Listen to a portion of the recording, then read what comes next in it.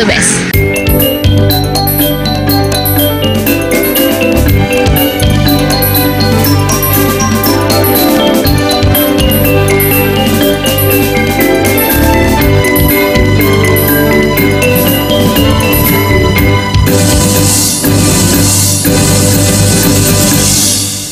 Rumah Sakit Umum Pusat Sanglah menggelar Bali Combined Clinical Meeting kelima di Denpasar pagi tadi.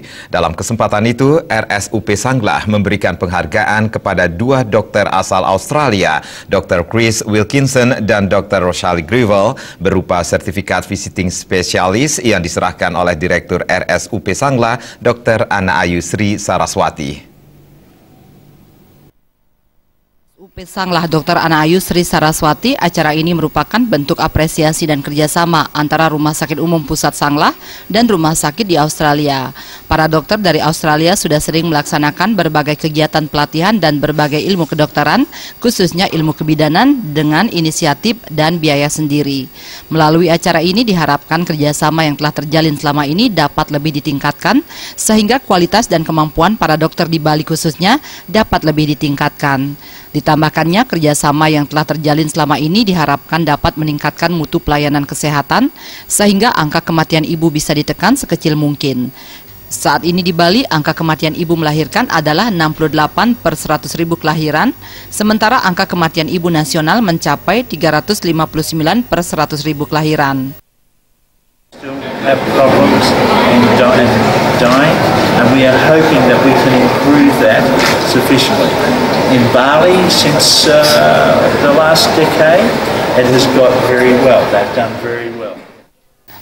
Sementara Ketua Divisi Veto Maternal Objin RSUP Sanglah Dr. Ana Agung Ngurah Jayakusuma mengatakan, acara Bali Combined Clinical Meeting kelima sangat bermanfaat untuk mengetahui pengalaman dan ilmu kedokteran terbaru dari dokter-dokter Australia khususnya dalam menangani pasien terkait dengan bidang kebidanan.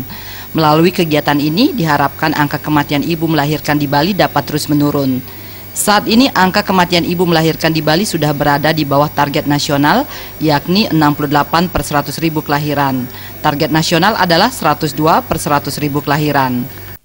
Outputnya sebenarnya goal kita adalah bagaimana Bali di sebelah Bali ini dan juga Trilon namanya Trilon Nusantara bersama bisa berkontribusi terhadap penurunan angka kematian ibu. Ya kita kan masih tinggi nih, kita masih 300-an, tapi yang kita inginkan kan 102.